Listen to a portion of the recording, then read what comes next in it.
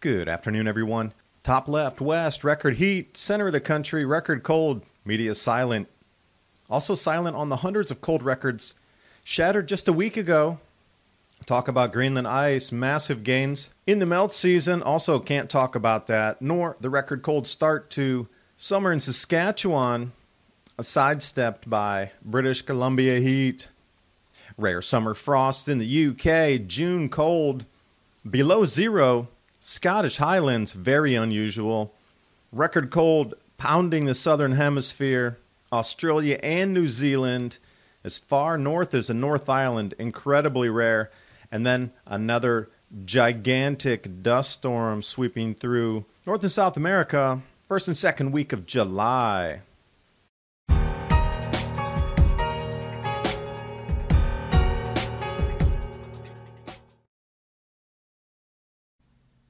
New studies show that by the time people reach their middle ages, the body often produces less than half of the collagen it did in their youth.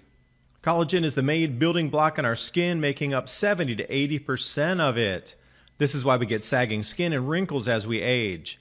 If you want to look younger, you must supplement collagen, which will improve your skin's elasticity, make it smoother, more plump, and more youthful looking. That's why Ageless Multi Collagen provides five key types of collagen you need from four different sources, essential to optimally support an array of full body benefits. No odor, no taste, no clumping, unlike other collagen supplements. And this is why I recommend Health with Adapt 2030. Ageless Multi Collagen, and look at that, I need another bag already. Quick way for youthful appearance Use the link in the description box below for 51% off my favorite ageless multi-collagen. And now on with the video. And I don't care whatever corporate media and newscast you go to, it's all about the record heat, record heat, record heat, Canadian national record highest temperature, half a degree warmer, and it gets 16,000 pages of coverage but at the same time, the record cold in the central grow zone of the United States, equally 20 to 30 degrees Fahrenheit below the normal temperatures. Why is that not being talked about? Only the heat in the Northwest, same 20 to 30 degree temperatures above the norm. Historic heat, yet there was historic cold as well less than seven days ago. Crickets in the media, too inconvenient, I know. Now look at some of these forecasts here, and I say, no, that's an over exaggeration. 116 degrees, 114 degrees, 120 degrees in Oregon, in Washington. I know models are running hot. You know, Climate Reanalyzer, the hottest on the web.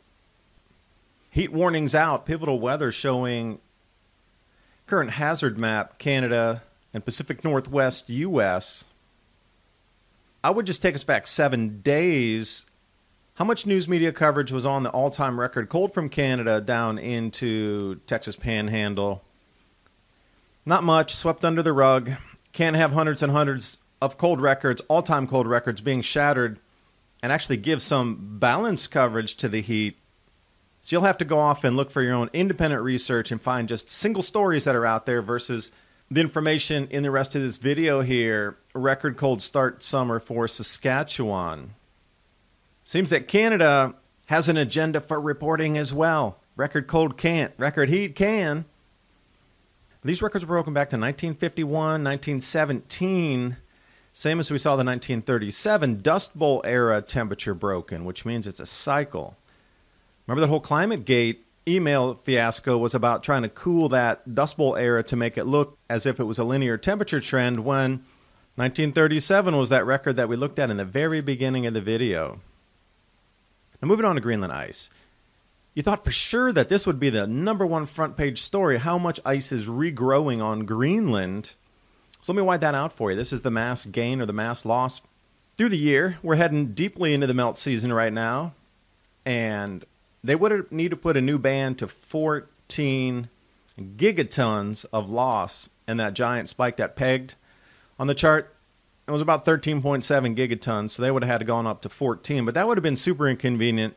That that much ice had gained, where they needed to put two other bands inside this chart here, and then we see this second anomalous ice gain spike going into the melt season. If the whole point of the global tax scheme is to put the ice back on Greenland, you think that this would have made 16,000 publication front pages like the heat is, but it's happening at the same exact time. These are the same days that the heat's going on. Speaking of mass balance, I guess there's no balance in reporting. Let's jump over to the rare summer frost in the UK. And also, historically cold this year across the UK, 10 to 12 degrees Celsius below the seasonal norm. Now, that's Celsius degrees, not Fahrenheit. Looking at about uh, 15.3 degrees Fahrenheit below the normal season temperatures. Squawking about heat, Pacific Northwest for a few days, but missing an entire trend for a full season across the greater UK. And also, look at this Scottish Highlands. Pick this off extreme temperatures around the world. Great Twitter page to follow if you're looking for this type of information. So I started to dig into some of the temperatures there, a little bit difficult to see. They're all near freezing or below freezing. So I thought, let me pull out that page that has all the below freezing where water turns to ice temperatures. 3.3 degrees Celsius below the freezing point, which is around 25 Fahrenheit. Into the summer in the Scottish Highlands, so rare that it's making publication regionally, but not internationally. Also, if we look at May as a general temperature trend, one of the coldest Mays is going back to 1659, which was, history lesson, the grand solar minimum, the Maunder minimum. And also, you see some repeating cycles here. 1957 was the last time it was cold, 26 Fahrenheit. And if you look at January, April, and May, below normal temperatures, that's a trend. It's not a single event but a staggering 1.5 C below the statistical average on the 30 year average, not reported widely. Wonder why not? So, jumping to the southern hemisphere, Antarctic low after Antarctic low, record cold, smashing snow records obliterated across Australia this early in the season as well, with temperatures, rainfall, and the mouse plague, of course. What if we jump over to New Zealand?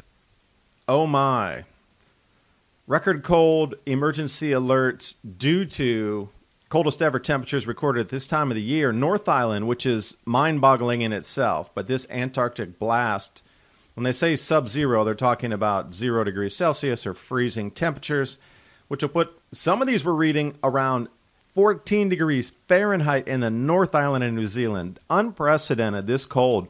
But again, South Africa getting hit with an unreal cold event at the moment record cold across South America. Here you see in New Zealand, Australia.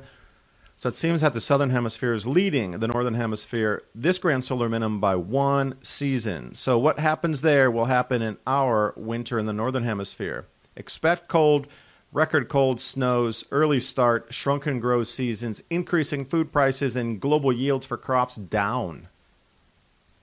I know that was a lot to take in in that sentence. Or run on sentences.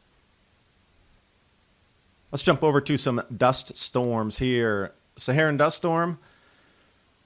What you're looking at the far east of this, just coming off Africa, that black and purple is full block out of sunlight. And I'm like, wow, that's incredible.